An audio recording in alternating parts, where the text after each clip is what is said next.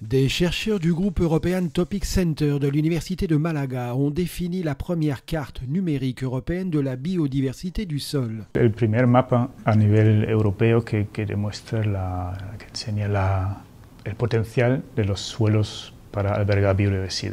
Cette cartographie contient toute l'information sur la biodiversité du sol de 27 pays de l'Union européenne. L'objectif est d'aider à prendre des décisions sur le sol, comme le gérer de manière durable et améliorer son utilisation. La producción de alimentos, eh, la retención de agua, purificación de, lo contaminante para aguas subterráneas, muchos servicios.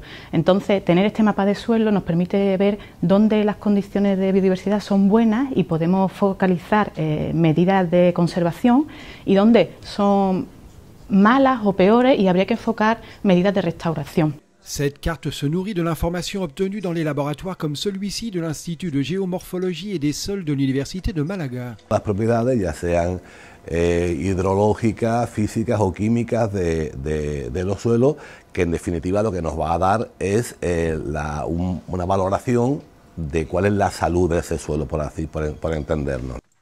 La carte peut être consultée sur le site web de l'Agence européenne de l'environnement.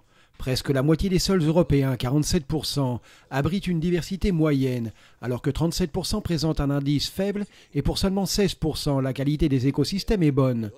Des pays comme l'Irlande et la Slovénie ont les meilleurs potentiels de biodiversité du sol. L'Espagne se trouve parmi ceux qui ont un indice faible.